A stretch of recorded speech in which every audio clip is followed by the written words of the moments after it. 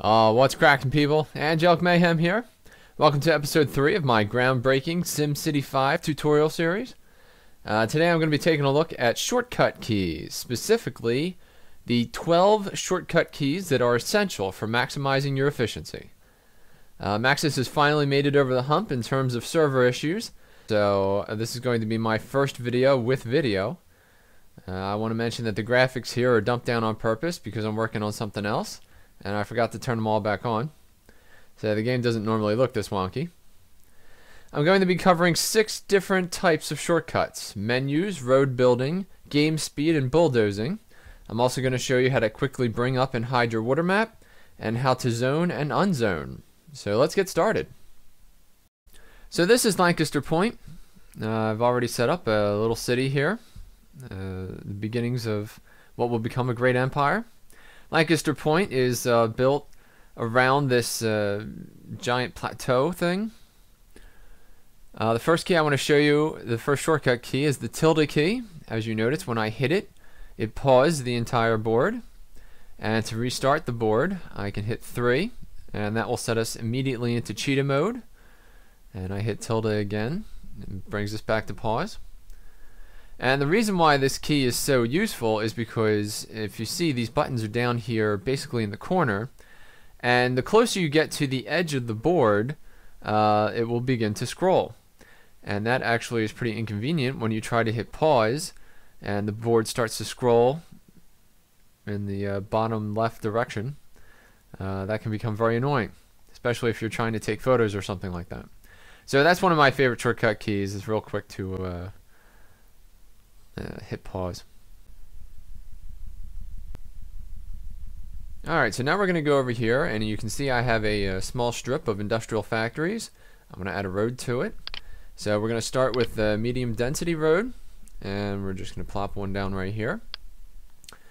Now, you can see that with a straight road, you can make it go in any direction, but if you hold down shift, it will snap immediately to 90 and 45 degree angles. Uh, this is incredibly useful if you're setting up a grid community and you don't want to use the square tool. Again, I hit shift and it goes immediately to the 90 degree angle. Those angles, by the way, are based on the edges of your city. Uh, I'm going to put a line here. If I press the R key, it will bring up the road upgrade tool, which will allow me to upgrade this road later.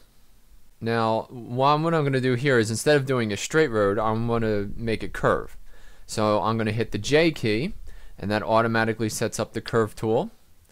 And boom, we'll put in a little curved road right there. Now if I hit I, it goes back to the straight road. So that lets me put a straight road here, and if I hold shift, I can make it jump to a 45 degree angle. And there we go. Now we're going to actually you know what? We're not going to do that. Hold on a second. We'll go back. Because I want to show you as you can see I have turned the grids off in the option menu so the grids don't pop up the little guidelines that they give you. But if you hold down the alt key you can see that the grid lines pop back up. Now I can run my street and know that it snaps to a grid line.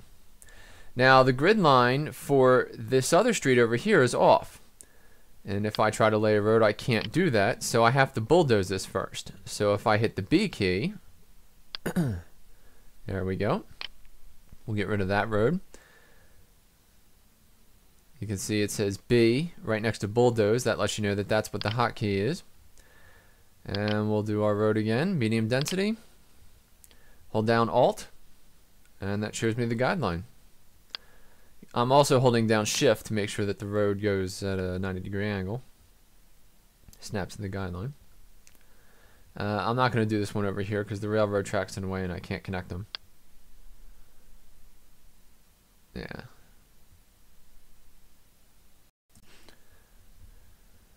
So now we're going to do some zoning. We have uh, some residential zone here. Now I see this happen all the time. People go out on YouTube or when I go out on YouTube, I see people doing this. They put down one at a time, you know, the residential community. But if you hold down control, you can actually zone the entire block.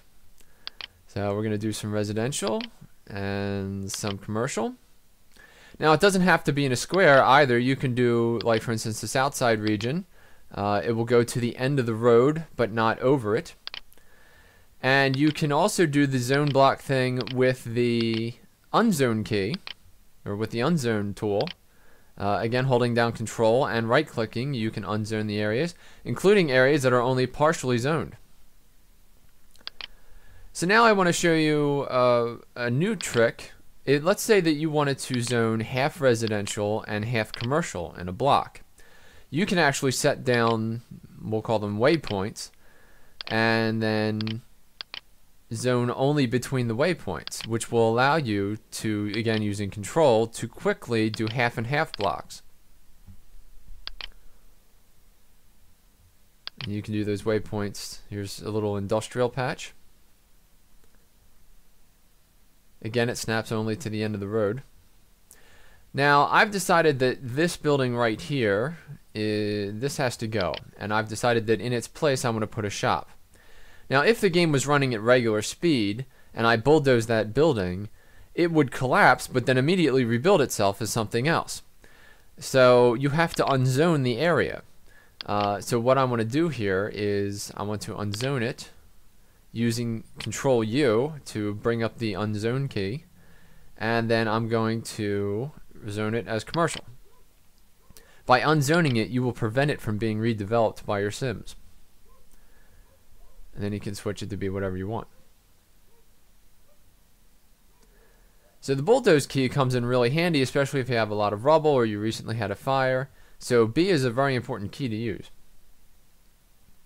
So there's another key that's of use. As you can see, my menu options are flipping, and the reason is because I'm hitting the tab key. Uh, tab will switch you in between your various menus, which is pretty useful, especially if you're going from say the fire department to the health center, you just hit tab once and it flips you over. And this other key, uh, which is 4, um, is for the water table.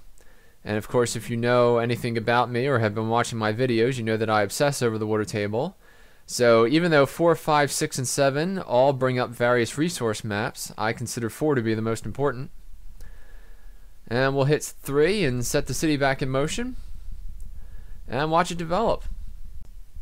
There you have it, people. Thank you for tuning in to another edition of my SimCity Versity video blog. You can find the link to my other articles in the description below. Give me a thumbs up or a subscribe if you like this video, and I'll see you next time.